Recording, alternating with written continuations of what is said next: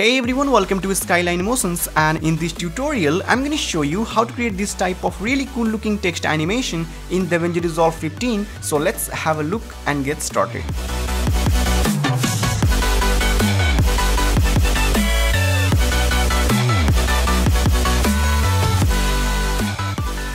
Alright, so first of all we have to create a new project. So click on this new project and let's rename it to text animation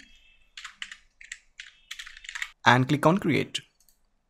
Okay, after that we have to change some settings. So click on this setting button and change this timeline frame rate 24 to 30 FPS and playback frame rate 30 FPS and click on save. Alright, so now we have to take a solid color. So go to this toolbox and here is generator. So click on this generator and here is solid color. So just drag this solid color to the timeline, something like that. And uh, right click on this solid color and here is new compound clip. So click on this new compound clip and let's rename it to text and click on create. Now select this text and go to the fusion tab and here we get two node media in and media out. So just delete this media in okay and then right click on this flow window and go to arrange tool and check this box to turn on the grid snap okay and just drag this media out over here now let's take a background node. So click on this button here and take a background node and let's rename it to line. So press F2 on the keyboard to rename and rename it to line and click on OK. Now let's add a rectangle mask. So select this line and click on this button here to add a rectangle mask, something like that and place it over here. Okay, and now drag this line to the viewer okay now select this line and pick a color something like yellow and click on ok now let's create a line and set this value something like 0.01 okay and now let's set this width value something like 0.06 okay and now go to frame number approx 60 and right click on width click on animate and go to frame number 0 and select this rectangle and set this width value 0 okay so it's looking something like that. All right now go to spline window so just click on this spline over here and check this rectangle and click on this button here to fit this keyframe and select this keyframe press s to smooth and hold this handle and create a curve something like that. So now let's play this. All right now let's close this spline. So click on this. And now we have to duplicate this rectangle. So just select this both node and press ctrl c to copy and paste it over here by pressing ctrl v something like that and place it over here. And now we have to take a merge node. So click on this option here and add a merge node and connect this yellow point to this and green point to this and drag this merge one to the viewer. Now just go to frame number 30, select this rectangle one and right click on center, click on animate and select this one and right click on center, click on animate. Okay. And then go to frame number approx uh, 90 and set this rectangle something like that and select this rectangle something like that. Now just right click on this flow window and go to guide and here is show guide. So check this. And now set this line according to the guide. Okay. So now let's check this. Okay now click on this spline window and uh, click on this triple dot here and click on this select one tool okay and click on this rectangle one displacement and click on this fit. Select this keyframe press s to smooth and create a curve something like that okay and check this rectangle one displacement and click on this fit button select this keyframe something like that and press S to smooth and hold this handle and create curve something like that. And now let's play this. Okay. Now close this spline window. Okay now we have to add a text node. So click on this text button and add a text node. Place it over here something like that and type your text whatever you want to type. So i'm typing animation. Okay and after that i'm going to create a matte node. So just click on this bg button to add a background node and let's rename it to matte so press f2 on the keyboard to rename and rename it to matte and hit enter. Okay now place it over here something like that and add a rectangle mask with this matte so click on this rectangle mask and place this rectangle mask over here and now go to frame number approx 90 and set this mask according to the yellow line and press Ctrl and scroll up to zoom in. And set this mask something like that. Okay now select this rectangle and right click on height click on animate and go to frame number approx 30 and set this height value 0 okay so it's looking something like that. And now click on this spline and select this rectangle 2 and check this height in rectangle 2 and click on this fit button select this keyframe press S to smooth create a curve something like that. Okay and click on this spline. Okay go to this option here and click on fit and now let's take a merge node. So click on this merge button place it over here and connect this yellow point to this matte and green point to this text and drag this merge to the viewer.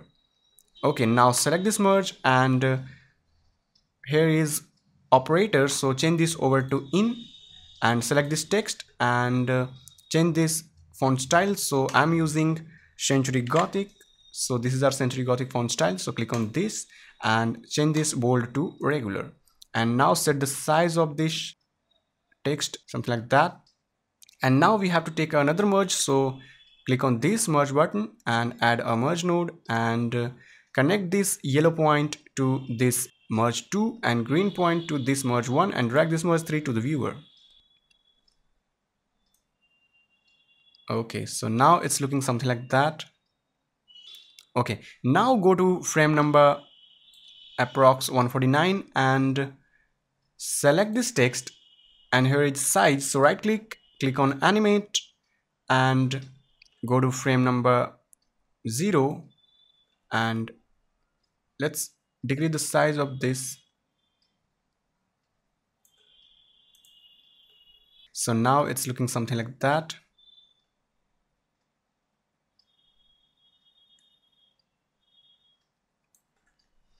And now we have to set this text in center so just select this rectangle and go to frame number approx 90 and set this line something like that. So now it's looking nice. And then go to this option and click on fit. And now let's play this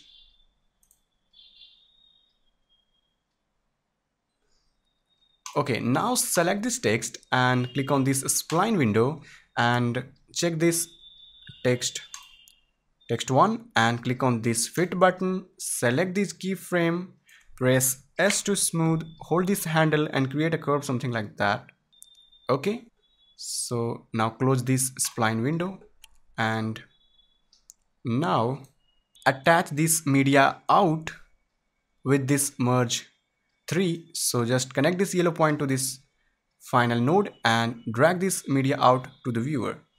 Okay and go to edit tab and here is our text. So now let's apply this text on a background. So just drag this text something like that. And now let's create a background. So go to folder and import an image. So i'm using this one and i have downloaded this from pixabay.com and link given in the description so download this and drag and drop to the timeline something like that. Okay now let's do some adjustment with this image. So just hide this upper layer by clicking on this button and go to fusion tab and uh, now select this media in and add a color corrector node with this. So press ctrl plus a spacebar for search box and search for cc so this is our color corrector node so click on this add button and select this color corrector and here is saturation. So set this saturation value 0 and make it black and white. Okay now we have to take a background node. So click on this bg button and let's take a merge node. So click on this merge button and attach this green point to this background and just deattach this media out and connect this yellow point to this color corrector and drag this merge one to the viewer and select this merge and set this blend value something around 0.25 so put the value 0.25 and hit enter.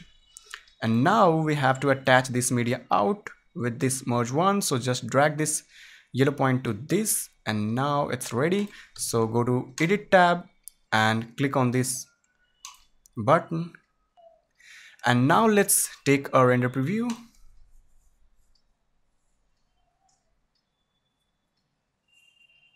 Okay now we have to change some settings for a smooth render preview. So just click on this setting button and here is optimize media and render cache so check this option and this one also and click on save.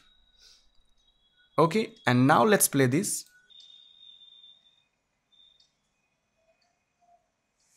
alright so it's looking nice. Now one more thing we have to do.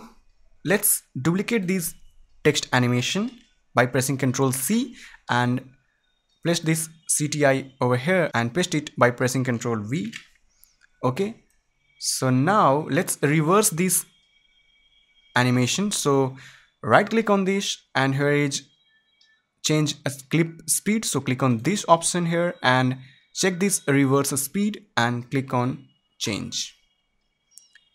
And just drag this background something like that and select this background and just hide this layer and go to this fusion tab and take a transform node. So just click on this transform button and add a transform hold shift and attach this transform something like that and select this transform and go to end of this animation.